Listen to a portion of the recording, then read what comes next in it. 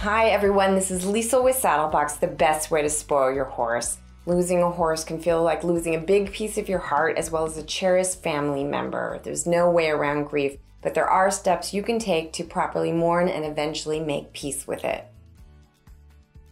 The grief response is unique to each individual. It's transformative as you reflect on your horse's many gifts and allow his legacy to live on through you. Since we build strong connections with our horses, it's perfectly normal to experience some or all of the five stages of grief.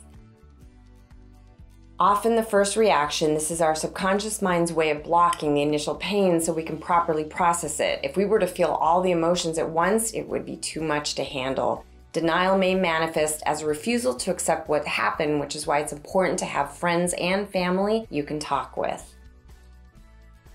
You may lash out, become frustrated, and even be resentful towards your horse for leaving you. Remember not to be too hard on yourself or anyone else during this difficult time. It's only temporary. Full of what if and if only thoughts, bargaining is your mind's way of dealing with circumstances beyond your control.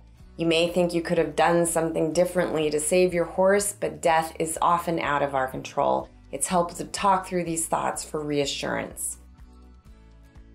This new reality without your horse will feel heavy. Feeling empty or uncertain about a life without him is perfectly normal. Some days getting out of bed might be a struggle. With all the changes that come with losing a horse, it's absolutely normal to experience a period of depression. Just remember that it's common, it won't last forever, and you will find happiness again.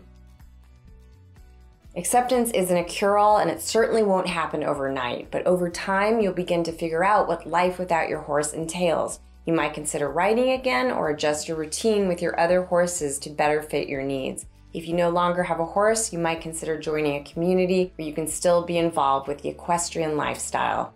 Every step you take to feel more yourself will benefit you greatly.